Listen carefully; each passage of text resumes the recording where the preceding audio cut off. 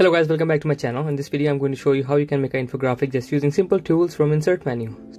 I took a small box from insert menu. I'm going to make it same and equal size, uh, which is 2.7 in height and 2.7 in width. I'm going to make one sample box with all the things that I need, which is inc includes the text and all that.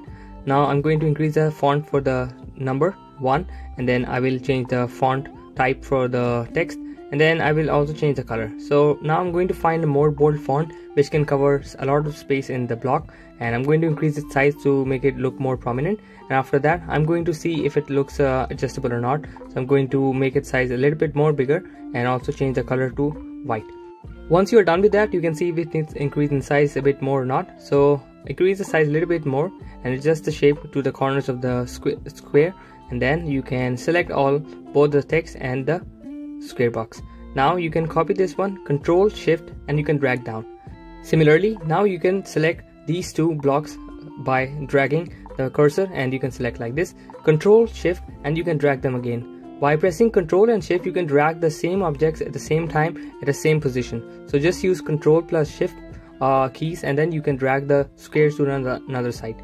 Now once you're done with this one, I'm going to show you what you can do with this one. Just slightly arrange them in the middle of the slide and then uh, what you can do is change the numbers from simple 1 to 3 so that we can save our time instead of doing for every every single block. I just did for one and then later I'm just changing the size for I'm just changing the numbering so that it can make it a bit more easier. I'm just going to uh, delete one this extra box because I don't want to bring 10 inside because too big. So let's suppose that we have only 9 digits to cover. Then we can select them and you can, we can drag them to the right hand side and put it down in the corner let's just delete the extra one that we missed in the previous time. Now select all of these. We can do one thing. We can merge and subtract the shape from the box. But for that you must select the box first and then the text. So uh, let me show you how you can do. So first you can select the box and then you can select the text. That's how you can subtract. Now what you can do for the other one you can also use the fragment options if you choose fragment, what it does, it divides all the shapes into small parts. So once you're done with this, you can remove the extra parts that you don't need. So I personally think fragments really help in making the shapes more beautiful and more easy, easier to handle so now once you are once you did for one now i'm going to repeat the same process by choosing the fragments i'm going to do the same process for the down parts also once you are done with this one what you can do is you can select all these ones and then you can just simply click on frag fragments even even if you don't have to click each one uh, separately you can just select all and then you can choose fragments. Now i'm going to remove the unnecessary parts which includes the outline and shape. Make sure when you are dealing with 4 don't delete the inside part because once you delete it will not give a prominent look for the text itself. So now i'm just uh, carefully deleting the parts which i don't need. So i'm going to delete the outer part of the 5 and also going to clear the remaining boundaries. Now once i'm done with cleaning all the parts i'm going to give a different color to each and every shape to make it more prominent. Now for this case i'm giving a different color which is orange and which is golden. And similarly i'm going to give different colors for each and every part. So remember i'm not going to delete this part because this part is actually giving an outline for number 2 so now i'm changing the colors for other parts. And similarly for 3 4 5 6 7 you may also choose simple stone colors but if you want to make it different you can also do that but i recommend that if you use different colors it will make it your slide more attractive and your infographic more attractive. I just made this simple one so that you can learn easily. Now what what i'm going to do is i'm going to work on the text part for the box. I'm going to write simple text for one box. So and again I'm going to repeat the same process for the other parts also.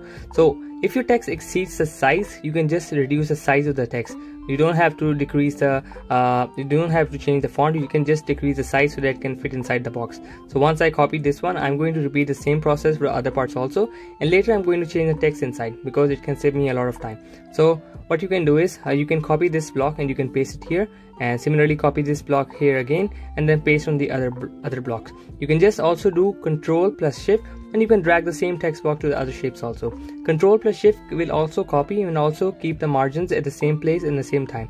Now control plus shift again then you can go and drag it down. You don't need to copy when you press control and shift so that's one tip that you can learn from this one. Now once you're done with this part you can add icons in this one and also you can change the text within the box individual box. Now as you can see the size is a little bit bigger so I'm going to reduce its size so that it can fit inside the box. Similarly I'm going to repeat this process for the other parts also. So each keyword can have their own uh, specific icon but for those who don't have an icon set they can also download from Google or they can also download the icon sets from free websites which provide vector graphics. So now I'm going to use simple keywords and using the keywords like people, gender, climate, globe, whatever resembles the things, the points that you mentioned inside your text box, you can write down and see if they have available options for the icons or not.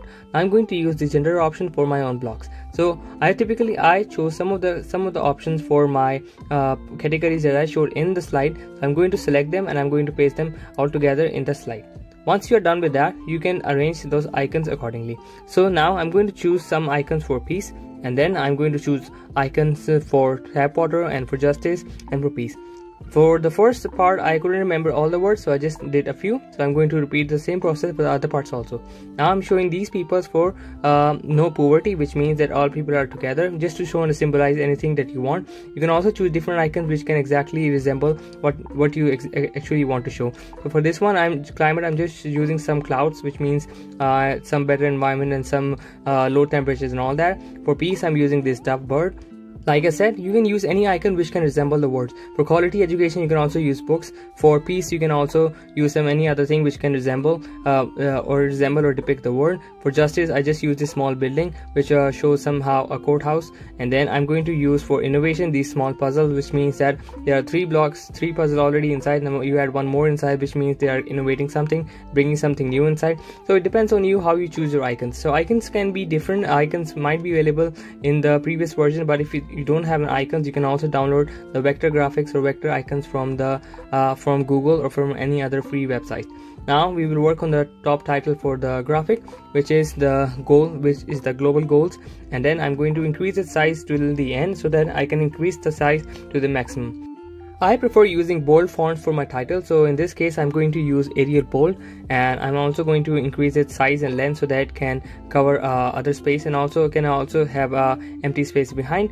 Now I'm going to select all of them and going to drag and keep bring them to the middle so that they have equal space from the top and the bottom. So once you are done with this you can add another icon which is the globe it can show something somehow that it is global. So this globe is just as a representative pictorial representation of the globe and it will just show that we are going we are talking about the whole world not uh, only for some specific region. So this is how you can make your infographic. Uh, pretty much simple pretty much easy. I just use simple tools box and uh, number text file text box and then what I did is I used some icons and then added some of the text inside I made for uh, 8 or 9 categories. If you have to make for small categories you can increase the size of the box and you can also use some different colors or gradients as you like. So now I'm mostly done with it. What I'm doing is I'm adding making small adjustments which I can do. I'm going to change the background color which is uh, dark blue or the light gray. Light dark blue doesn't look much good but if you want to use this dark blue you must change the color or the shape for the uh, shape for the boxes or the you also may have to make a white text so I hope you guys like this video and learned something from this video. If you haven't watched my previous video on animation and other, you can also watch that. So whenever you start making a graphic, do take some examples or watch some examples before when you start. You can also have pretty much good ideas when you are going to make a graphic on the first time. I hope you are enjoying my videos. If you want me to teach you something different about PowerPoint, do let me know in my comment section. Till then, take care. Allah Hafiz.